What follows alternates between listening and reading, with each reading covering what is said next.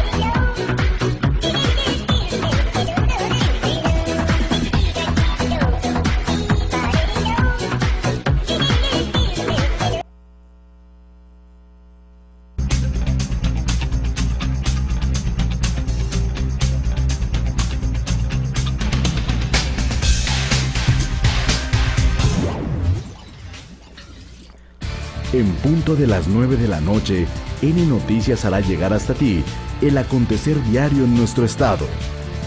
N Noticias, de lunes a viernes, 9 de la noche, por tu canal N Visión. Te invito a que estés pendiente del resumen informativo por N Noticias, de lunes a viernes a las 9 de la noche, por tu canal N Visión.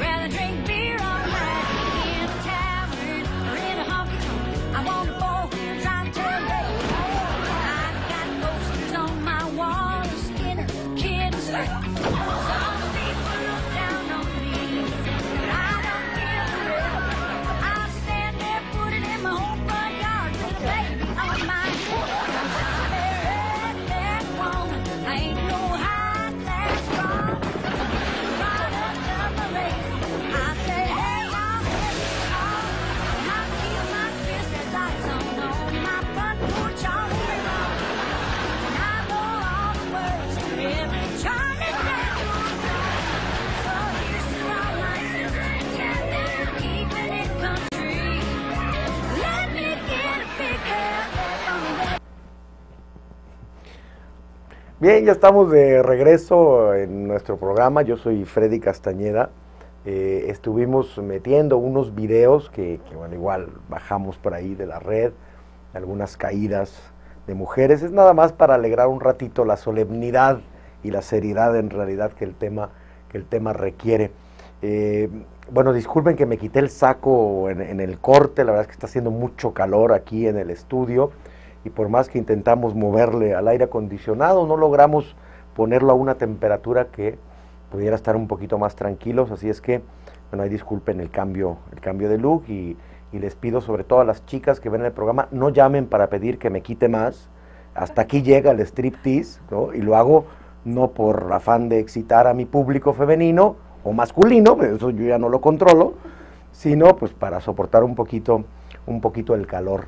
Bueno, les recuerdo que este es un programa en vivo, puede comunicarse al correo electrónico, a la dirección o a los teléfonos que ya aparecieron en la pantalla. Eh, estábamos eh, comentando pues la necesidad de reflexionar sobre eh, lo equivocado que resulta intentar observar una sociedad a partir de una posición sexista. Desde que se pone eh, esa um, guía de análisis, me parece que ya se parte desde un punto completamente equivocado. Porque entrar en una absurda lucha de poder, en, en ver quién es más capaz, eh, es caer a la nada y caer a ejemplos de un lado y de otro que legitiman o que ridiculizan las posiciones de ambos.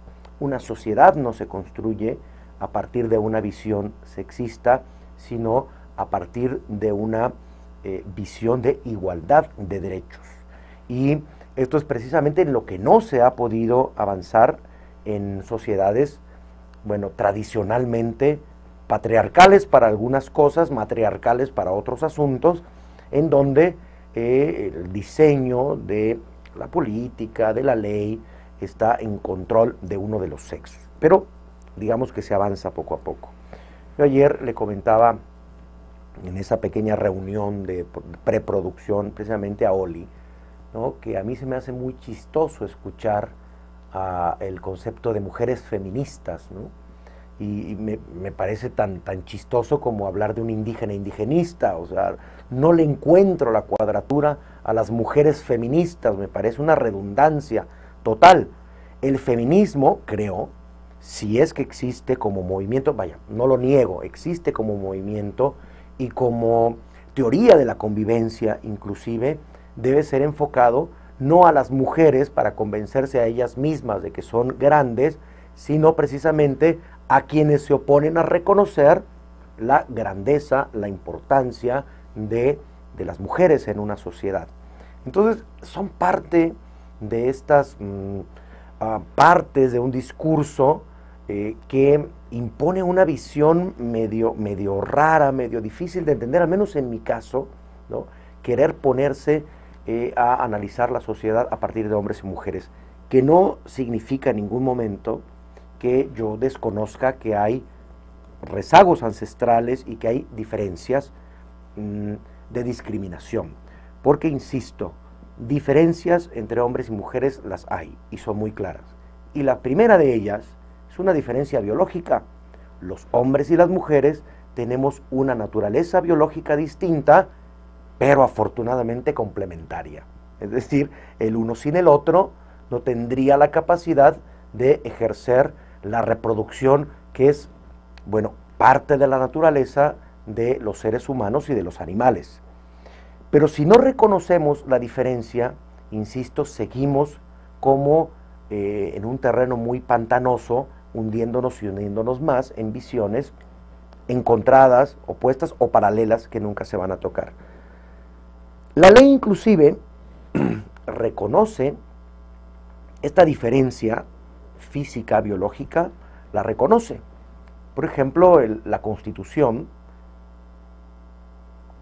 la Constitución política de los Estados Unidos mexicanos, la Constitución federal, dice en su artículo cuarto, los hombres y, las mujeres son iguales ante la ley.